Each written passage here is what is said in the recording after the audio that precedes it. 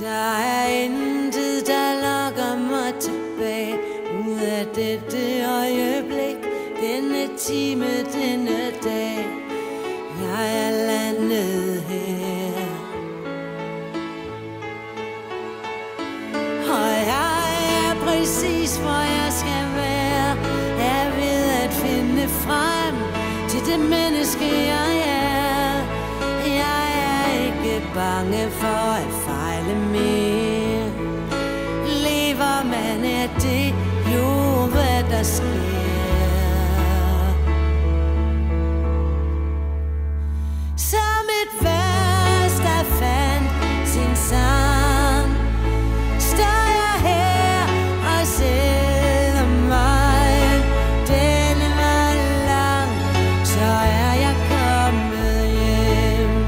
Copenhagen's main pedestrian street, Strøget, is one of the oldest and longest pedestrian streets in the world. It stretches from City Hall Square down to King Square, and some of the oldest buildings are dating back to the early 1600.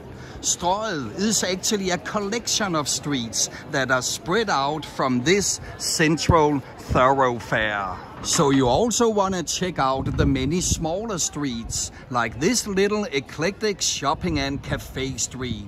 It's called Stræde, which literally means the alley. But don't try to pronounce Stræde, because just like Strøget, it sounds like you're talking with food in your mouth. Another small street is Fiolstræde, or in English, Violet Alley. And over here you can see the side of... Let's find a better angle. And over here you can see the side of the Church of Our Lady. This is where Queen Margaret I got married in the year 1363. And the most recent royal wedding was in 2004 when Frederick, the Crown Prince of Denmark, married Mary Elizabeth, an Australian woman he met on a pub in Sydney.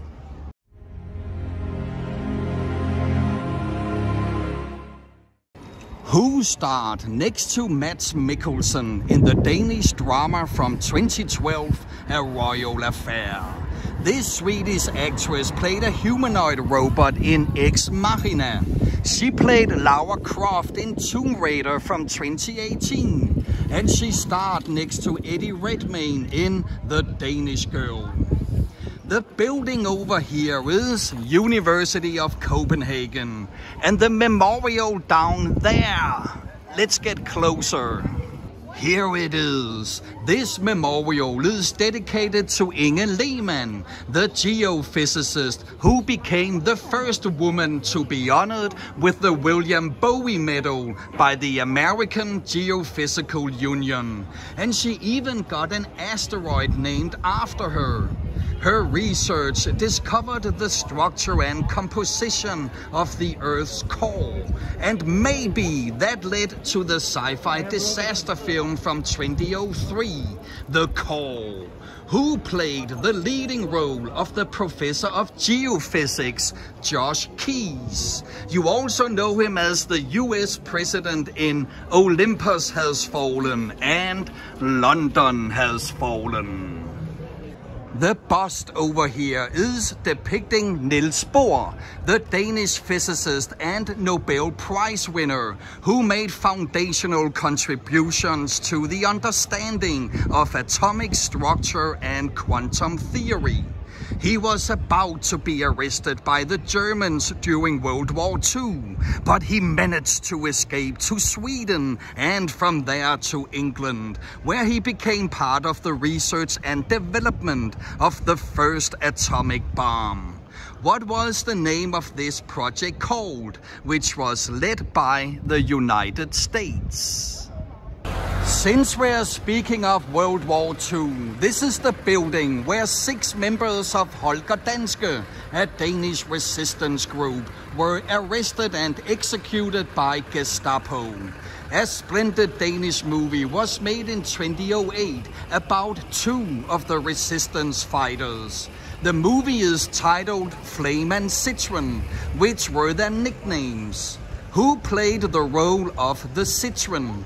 You also know him as the Bond villain, Le Chiffre in Casino Royale, as Dr. Hannibal Lecter in the television series Hannibal, and as Gellert Grindelwald in The Secrets of Dumbledore. Always had that dream like my daddy before me. So I started writing songs, I started writing stories. Something about that glory just always seemed to bore me.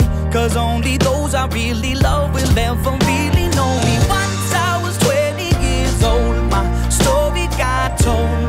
Before the morning sun when life was lonely. Once I was 20 years old. We cannot talk about pedestrian shopping streets without mentioning Købmagergade. And it's not because of fashionable cosmetic stores like Sephora. And it's not because it's the location of Hammer's old fitness center.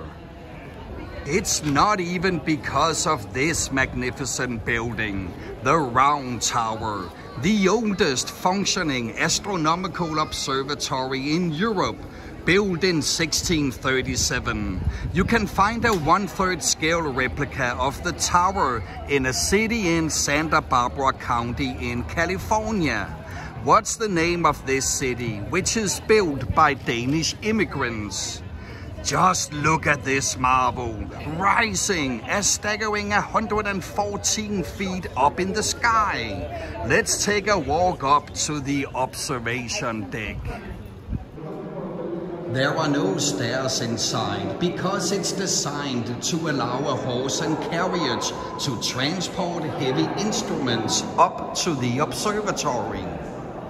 Now we are walking here just like 300 years ago when the Russian Tsar Peter the Great and his wife Catherine I ascended the staircase on horseback. Catherine would later on become the first woman to rule Imperial Russia. And a few decades later, we got Catherine II, aka Catherine the Great. Her life has been depicted in movies by legendary actresses such as Marlene Dietrich, Mae West, and Helen Mirren.